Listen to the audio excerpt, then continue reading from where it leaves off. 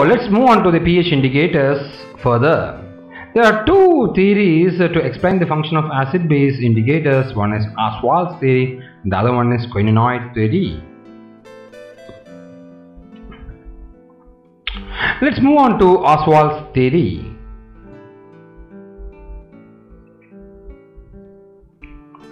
This theory was proposed by Ostwald in 1891. It is based on Arrhenius theory. According to this theory, the acid-base indicator is either a weak acid or a weak base. They are partially ionized in solution. The ionized and unionized forms have different colors.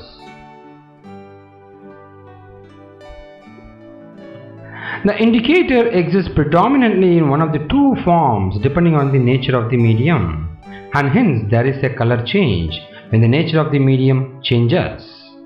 Phenolphthalein is a weak acid and it is partially ionized in solution. HPH unionized form it becomes H plus and pH minus hydrogen and phenolphthalein. In acidic medium, the excess H plus ions are present which suppress the dissociation of HPH due to common ion effect.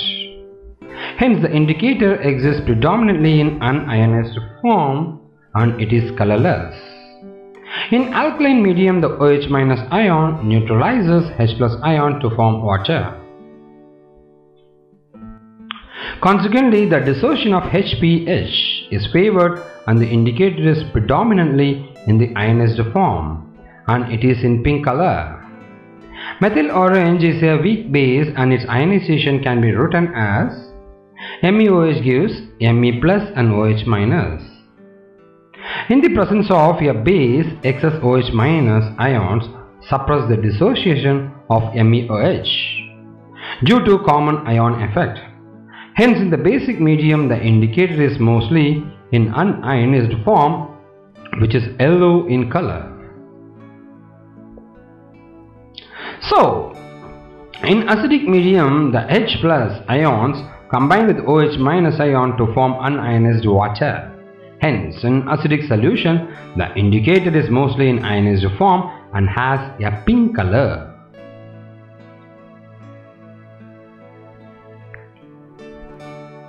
This theory also explains why phenolphthalein is not a suitable indicator in the titration of a strong acid versus strong weak base.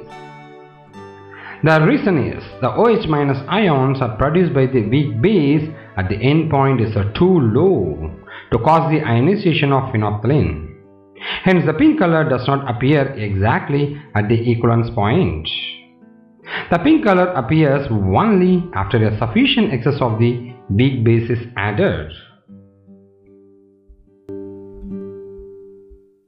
For a similar reason, methyl orange is not a suitable indicator in the titration of a strong base against a weak acid. The weak acid does not furnish sufficient H plus ions to shift the equilibrium towards the right. A sufficient excess of the weak acid has to be added to get the color change. So here is the experimental setup of uh, how the acids are working. Let's move on.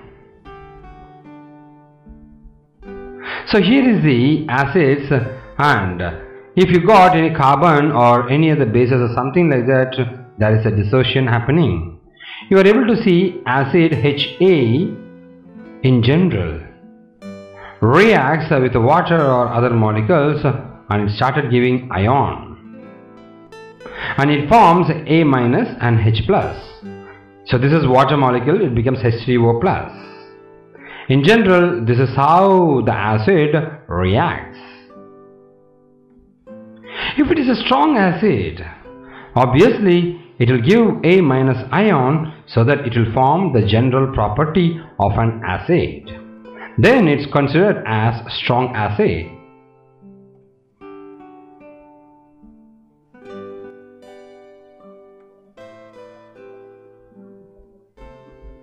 Let's move on. I got my weak acid HA. Once uh, it doesn't react to anything great. You are able to see it here. There is an equilibrium maintained. This guy forms here and there is an equilibrium maintained in case of a weak acids. I got my HA in H2O. You are able to see this is how the reactions are. You are able to see it here.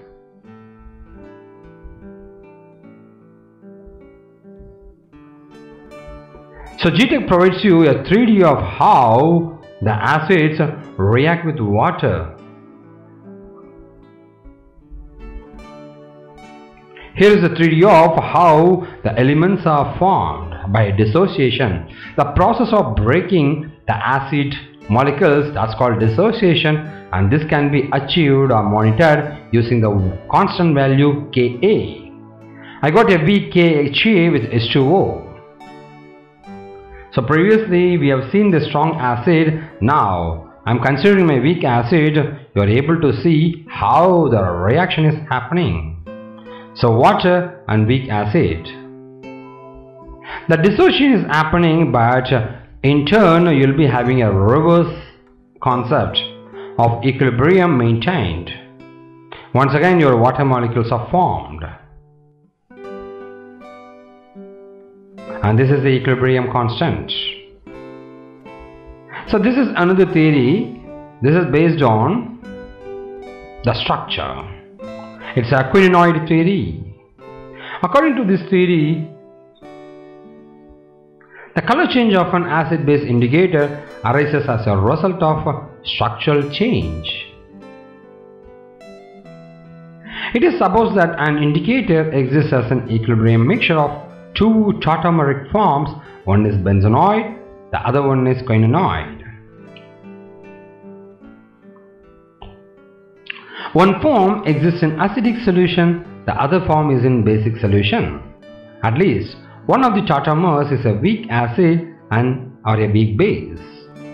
The two forms possesses two different colors and as the pH of the solution containing the indicator is changed. The solution shows a change of color.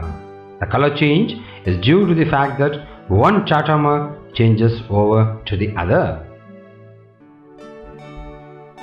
The typical example is phenolphthalein is a tautomeric mixture of two forms. This is benzenoid and this one is quinonoid form. So in benzenoid form it's colorless predominantly in acidic medium. Over here it's pink in the basic medium. That's it. Thanks for watching a GTEC Techno Solution product from GTEC company. Thank you.